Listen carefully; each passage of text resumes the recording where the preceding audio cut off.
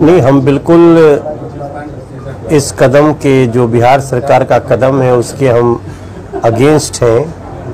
और मनीष को, मनीष कश्यप को जो यातना दी गई है, उसका विरोध करते हैं, लगातार उसके हम खिलाफ बातें करते रहते हैं।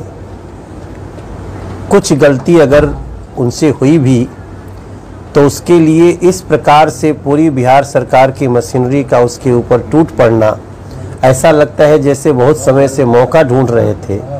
तो मुझे पूरा विश्वास है कि मनीष को जो यातना दी गई है बिहार सरकार के द्वारा, आने वाले समय में बिहार की जनता इसका बदला ज़रूर चुकाएगी।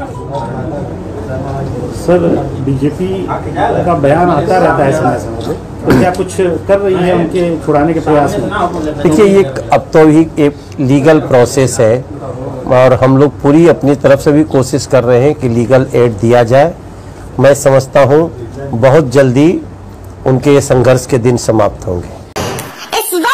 स्क्रीन पर चल रहा वीडियो समय का है जब मनीष कश्यप और बिहार में गिरने वाले पुल से जुड़े सवाल को पत्रकार ने मनोज तिवारी के सामने रखा।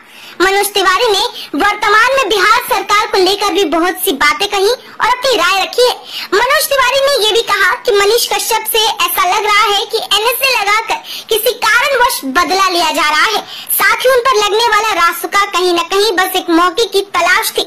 लेकिन इसी बीच राहत की खबर ये है कि मनोज तिवारी की तरफ़ से ये बयान आना कि अब मनीष कश्यप के बुरे दिन खत्म हुए, इस बात की संतुष्टि बिहार के लोगों और उनके चाहने वालों के लिए काफ़ी है।